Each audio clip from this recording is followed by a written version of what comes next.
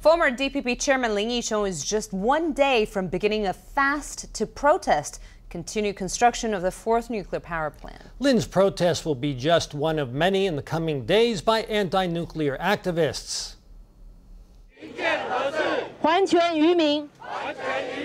Lin Yi-hsiung's fast is soon approaching. Dozens of NGOs are working to support his anti-nuclear cause with a mass demonstration on Ketagalan Boulevard.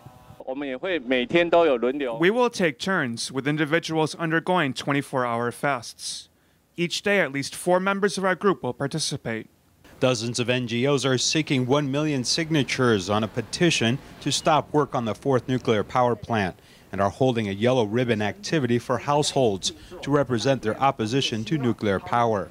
They say if the government continues to ignore their demands, protests will become more intense.